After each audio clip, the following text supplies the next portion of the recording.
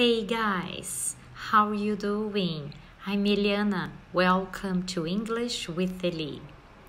Hoje nos Estados Unidos se comemora o Dia da Independência.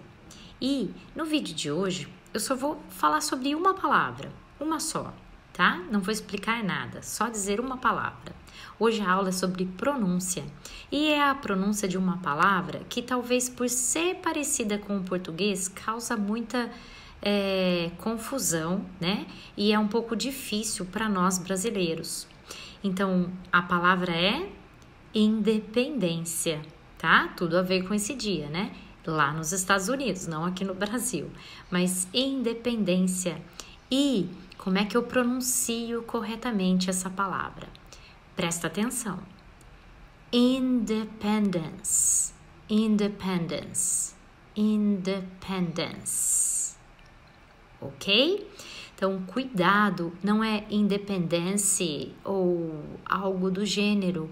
A pronúncia é independence. Independence, ok? Eu espero que tenha ficado claro para vocês e que a partir de agora é, vocês consigam, consigam pronunciar essa palavra corretamente. Bye!